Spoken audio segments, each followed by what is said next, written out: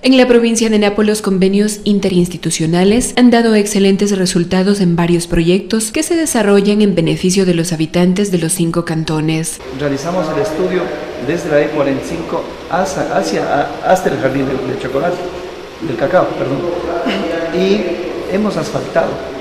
El Consejo Provincial ha aportado con una asignación aproximada de 400 mil dólares y el municipio ha aportado con una asignación de 50 mil dólares más el IVA. La obra está totalmente terminada, estamos coordinando con el señor presidente de la comunidad para inaugurar. El caso de Carlos Julio Arosemenatola es importante. En el año 2016 se cumplió con el tendido de asfalto en la E45 bajo un acuerdo entre el GAT provincial de Napo y la municipalidad. Esta obra tiene una longitud de 300 metros una calzada de 750, incluye una ciclovía y veredas de unos 50 a, cada lado de la vía adoquinadas.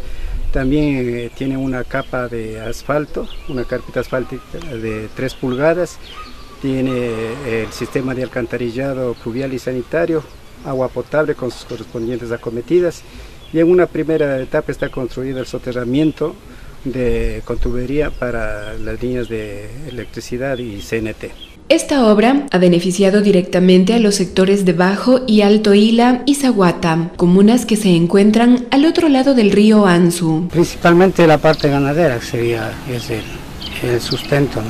Por supuesto, muy contentos, más que toda la comunidad, que son los beneficiarios directamente, y obviamente el cantón que está cada día más progresando. Bajo la figura de convenio también se ha logrado realizar el mantenimiento y mejora vial en sectores como Flor del Bosque. Bueno, en algunas vías en esta principalmente que estamos fue necesario realizar el mejoramiento.